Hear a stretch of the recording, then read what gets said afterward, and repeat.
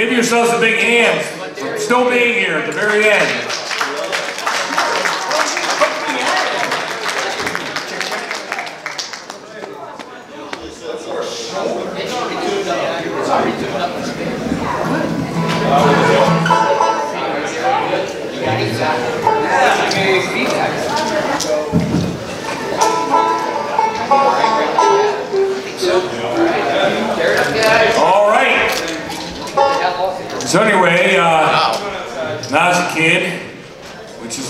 time ago.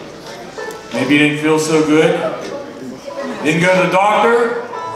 You got the home remedy. Will you please make welcome home remedy?